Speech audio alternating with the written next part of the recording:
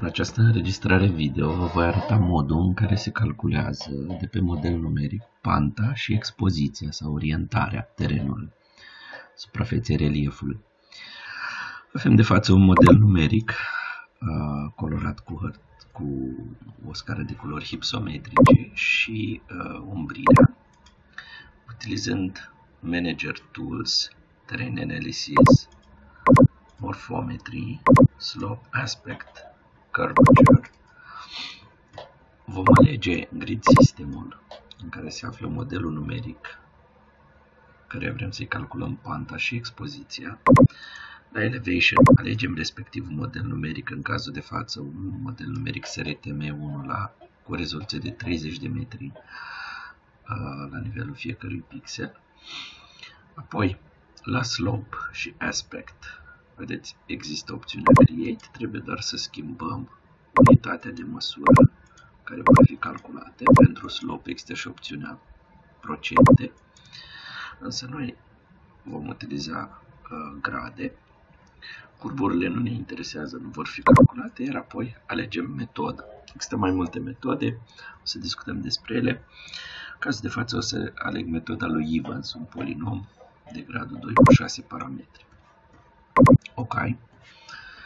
După ce rulează funcția respectivă, în Manager Data o să observăm două fișiere, 03 Slope și 04 Aspect. O să discutăm, aspectul este expoziție, o să vedeți de ce îi se spune așa. Dublu click pe 03 Slope, îl afișez peste harta ipsometrică Iar apoi prima operațiune va fi să schimbăm paleta de culori, care nu este foarte bine aleasă cea standard. Astfel încât în tabul Settings din fereastra Properties o să merg la alegerea paletei de culori.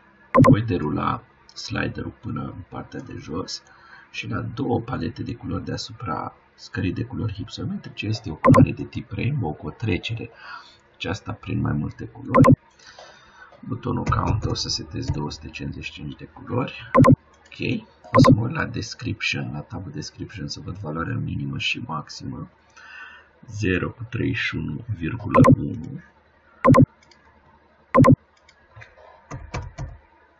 Sau chiar putem lăsa 32, Enter, Apply. În acest moment avem o paletă de culori care ne arată foarte clar uh, pante foarte, foarte mici, apropiate de zero, cu aceste culori uh, de violet, apoi trecerile de la albastru închis spre albastru deschis până la pantă de 10 grade.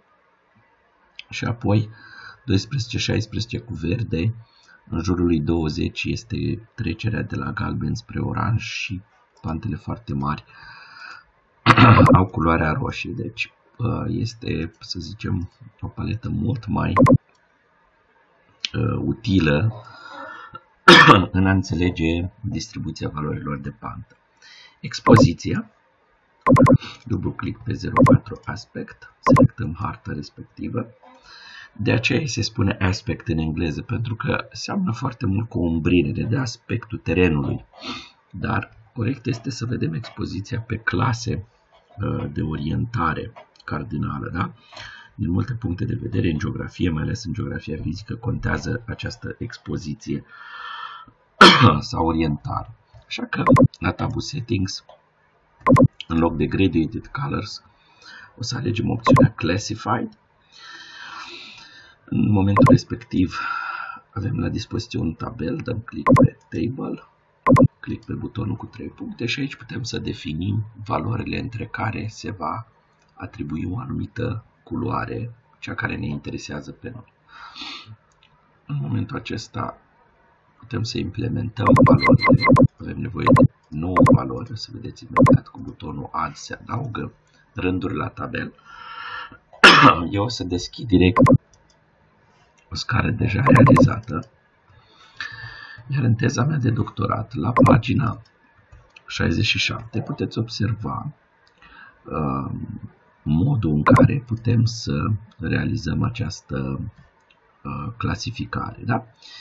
Uh, saga utilizează azimutul nordic pentru exprimarea expoziției, în sensul că dacă expoziția, dacă terenul înclină spre nord perfect, expoziția va fi 0 grade.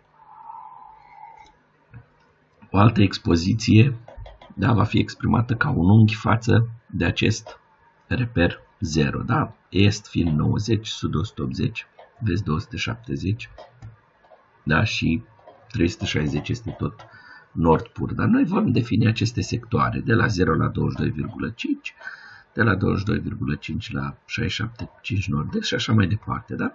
Exact acest lucru a fost creat aici.